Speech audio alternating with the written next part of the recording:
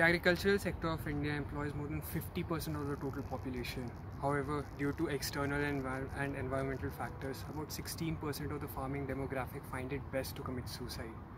Not only does this unfortunate situation hamper the farming community, it also plays its part in making the general population suffer.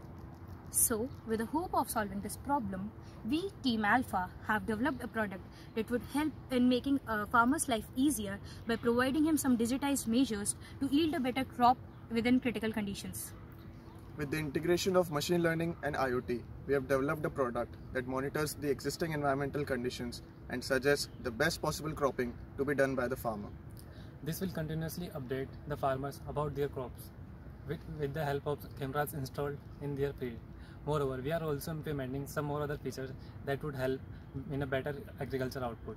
We are very excited to launch this product in the Jazbaa event organized under the IIEC community. Hope to see you there. Thank you. Thank you.